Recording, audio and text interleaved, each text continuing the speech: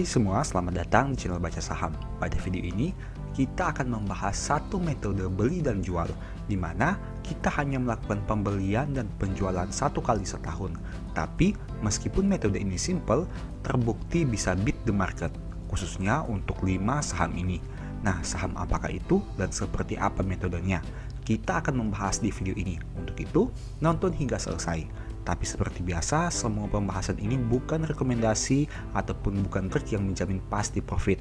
Tentu saja kerugian kamu tanggung sendiri ya. Nah, tapi sebelum itu mari kita lihat dulu histori IHSG dalam beberapa tahun terakhir, di mana IHSG pernah mengalami penurunan pada tahun 2015, pada tahun 2018, dan 2020. Jika ditarik dalam jangka panjang, rata-rata kenaikan IHSG adalah sekitar 5,43% dalam beberapa tahun terakhir. Nah, tentu saja nanti kita akan membahas saham-saham yang punya kinerja lebih daripada IHSG ini. Tapi sebelum itu, mari kita lihat untuk metodenya seperti apa. Poin pertamanya adalah kita akan melakukan pembelian di awal tahun, yaitu pada bulan Januari, dan nantinya kita akan melakukan penjualan pada akhir tahun.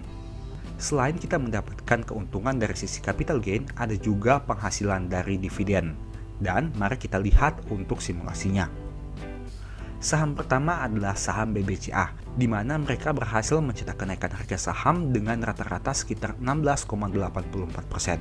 Angka ini tentu jauh lebih tinggi dibandingkan kinerja IHSG yang hanya 5,4. Tapi dalam beberapa tahun terakhir, kinerja BBCA pernah kalah dibandingkan IHSG, yaitu pada tahun 2021 di mana BBCA hanya mencetak 7,3 sedangkan IHSG naik sekitar 9,7.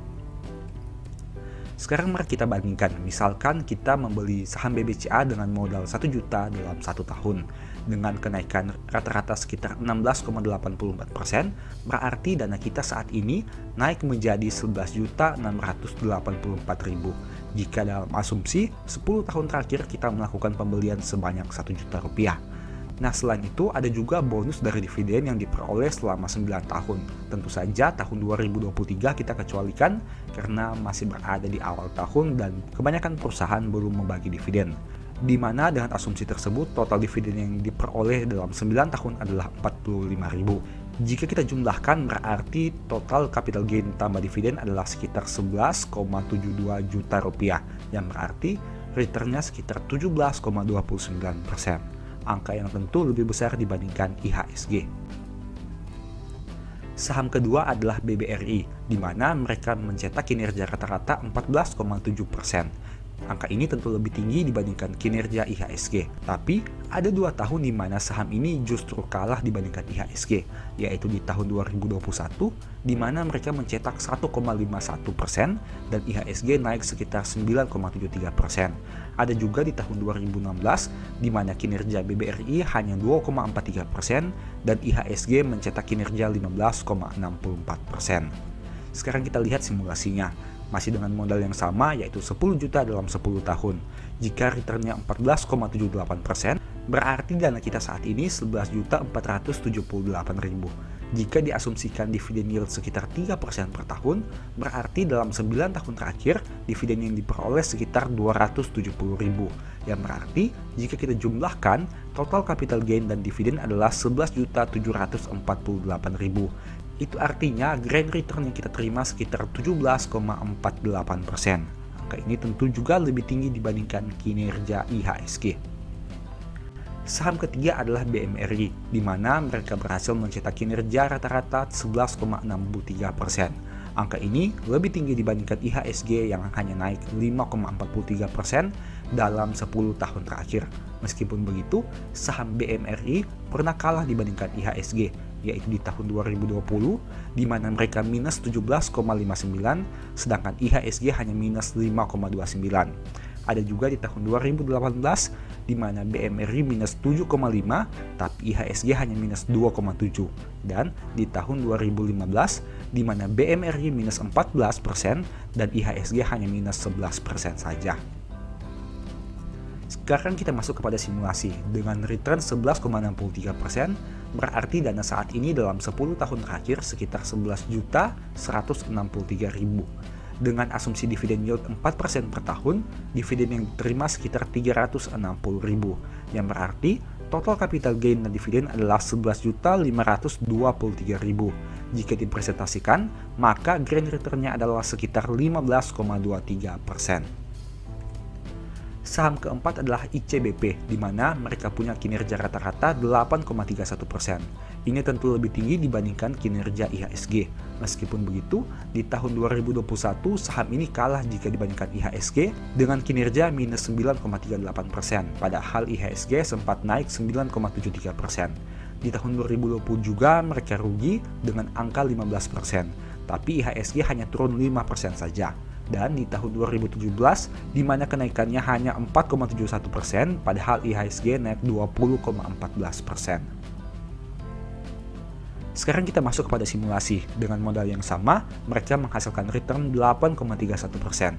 Artinya jika dirupiahkan dana kita saat ini adalah 10.831.000 dengan asumsi dividen yield 1,5% per tahun, dividen yang diterima dalam 9 tahun ini adalah 135.000 yang berarti total capital gain dan dividen adalah 10.966.000.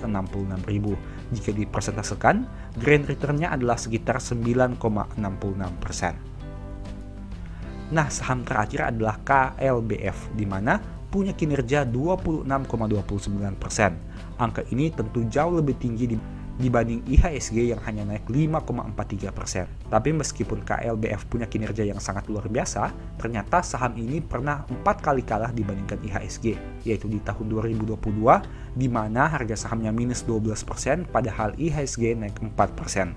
Di tahun 2017, kinerjanya minus 30%, padahal IHSG naik 20% di tahun 2015 kinerjanya minus 64%, padahal IHSG hanya minus 11%. Dan di tahun 2014 kinerjanya minus 2%, padahal IHSG naik 21%. Jika kita simulasikan, maka dengan modal 10 juta dan return 26,29%, dana kita saat ini menjadi 12.629.000 dengan asumsi dividen yield 1% per tahun berarti total dividen yang kita terima sekitar 90.000. Dengan menjumlahkan capital gain dan dividennya, total dana saat ini menjadi 12.719.000 atau dengan kata lain naik 27,19%. Nah, itu tadi 5 contoh saham yang bisa beat the market atau kinerjanya mengalahkan IHSG dalam 10 tahun terakhir. Ada BBCA, BBRI, BMRI, ICBP, dan KLBF. Tapi seperti biasa, ini merupakan pembahasan berdasarkan data di masa lalu. Tentu saja, di masa depan tidak ada yang tahu. Bisa saja kinerjanya lebih baik, tapi bisa saja pencapaiannya juga mengalami penurunan bahkan kerugian. Untuk itu teman-teman harus ingat bahwa potensi kerugian tetap ada. Meskipun saham-saham yang kita bahas merupakan saham besar, tapi tetap saja kerugian itu tidak bisa dihilangkan, hanya bisa diminimalisir. Nah, teman-teman harus ingat bahwa ada satu poin penting yang bisa teman-teman lihat dari pembahasan tadi, di mana semua saham yang dibahas itu merupakan saham besar yang rutin membagi dividen. Kenapa ini penting? Karena dividen merupakan salah satu income yang didapatkan secara pasif, di mana tanpa perlu memusingkan harga naik dan turun, selama kamu punya sahamnya, kamu akan mendapatkan pasif income setiap tahunnya. Nah, sebagai informasi, apabila kamu tertarik mempelajari metode dividen ini dengan lebih detail dan metode strategi nabung saham yang bisa dikombinasikan, mungkin ebook strategi nabung saham ini bisa membantu. Di sini banyak pembahasan terkait hal tersebut. Ada juga file Excel yang berfungsi sebagai simulator untuk kamu melakukan simulasi. Selain itu, apabila kamu tertarik mempelajari analisa fundamental dengan lebih mendalam dan bagaimana mempelajari money management, mungkin ebook The Stock Market ini bisa membantu. Untuk detail pembahasan, silahkan teman-teman baca pada tampilan berikut ini. Ada juga satu ebook yang baru di mana jika kamu tertarik untuk mempelajari bagaimana analisa laporan keuangan dengan lebih akurat, ebook cara cepat analisa laporan keuangan ini bisa membantu. Di sini saya menjabarkan secara point by point, mulai dari saldo kas di komponen aset hingga ke komponen di arus kas. Semuanya dibahas satu persatu. Ada juga file Excel yang berfungsi sebagai fitur screening laporan keuangan, di mana tentunya file ini akan mempermudah teman-teman dalam melakukan analisa. Nah, apabila tertarik melakukan pembelian, silahkan chat WA saja ke nomor yang tercantum ini. Oke, semoga video ini bermanfaat. Thank you.